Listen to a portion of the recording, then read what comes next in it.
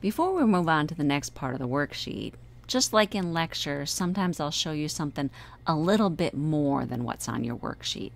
So this of what I'm about to tell you is not on your worksheet, but is to help you understand a little bit more.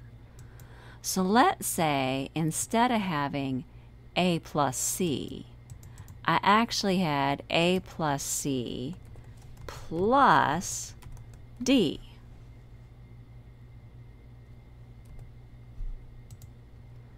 Well, I would do the same sort of thing I've got up here, but I would add in, and don't worry about all this code here for how I'm doing it.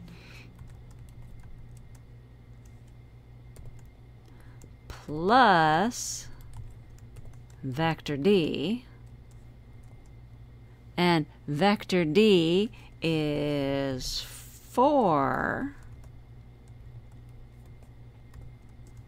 in the I minus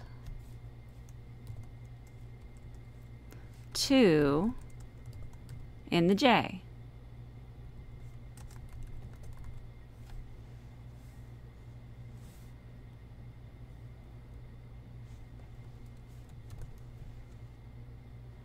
And if I add all that up, I would have 3 plus 0 plus 4, which is 7 and 2 plus 3 minus 2, which would give me 3. So that's what I would expect to get if I added all three vectors.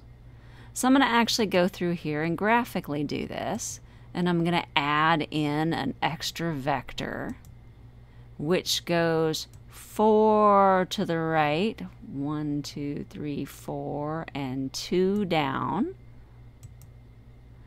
And so all my vectors here, I've got A and then C and then D.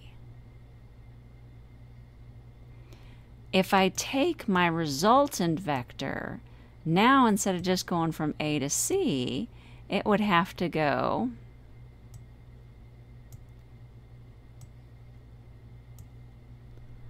One, two, three, four, five, six, seven to the right.